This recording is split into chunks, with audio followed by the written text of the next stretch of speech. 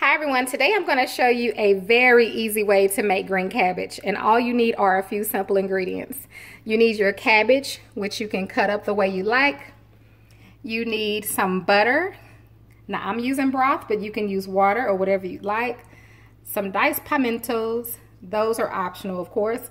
And then the seasoning blend. Now I'm recommending that you try this Italian seasoning mixed with green seasoning, but of course, as always, use whatever you like. All right, while you're getting your cabbage prepared, make sure you preheat your oven to 375.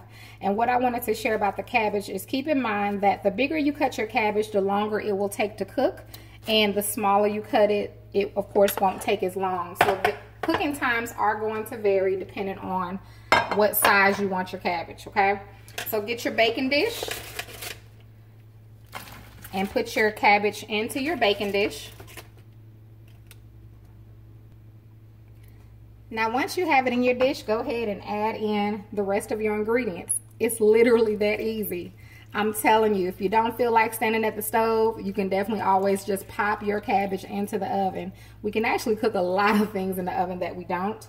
Um, but sometimes it's just difficult to get that cabbage right on top of the stove as well. Um, I've heard that complaint as well from people.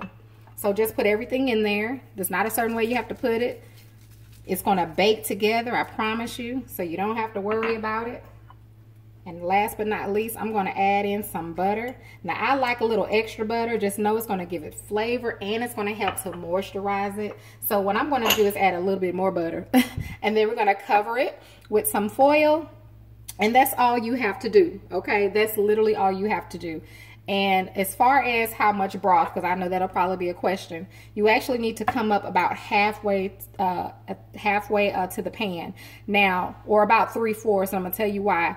What's going to happen is, I mean, not three fourths. I'm sorry, halfway or a little less than halfway, because your cabbage is going to produce its own juices. So you don't want to do too much, or it could overflow. Okay.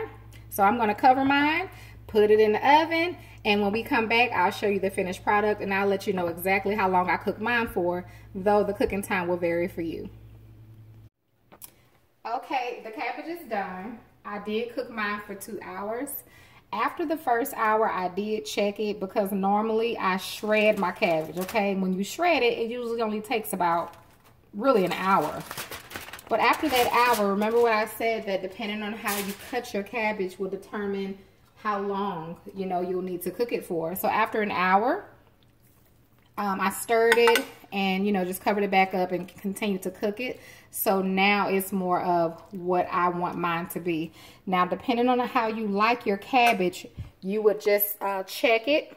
You know, um, if you cut it big like this, you just definitely want to check it after the next hour and then every uh, 15 minutes or so. Now, if it's not to your desired tenderness, then you just need to continue to cook it, okay? So this is how I like my cabbage. I like mine al dente. I do not like mushy. So I just wanted to show you uh, this easy oven baked cabbage. So simple. And it's easy just to cut it up, put it on in the oven, and then you can go and do whatever you need to do. Set a timer and come back and it's done, okay? So make sure you give it a try. I'm definitely about to try mine. Get me a little plate, honey. Mm, mm, mm. I love me some cabbage. I've been having a taste for cabbage and it was just right on time. Right on time. Let's see, y'all can see him. Put me a little hot sauce on it. It's hot. Mmm. Mmm. That's good. Mm.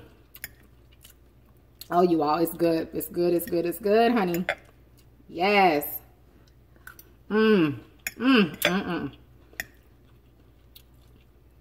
It's a little more cooked than I would like it to be because I really do like mine crunchy. But just cook it to the way you like it. Add whatever flavors you want, seasonings. Mmm. Mmm. That is good.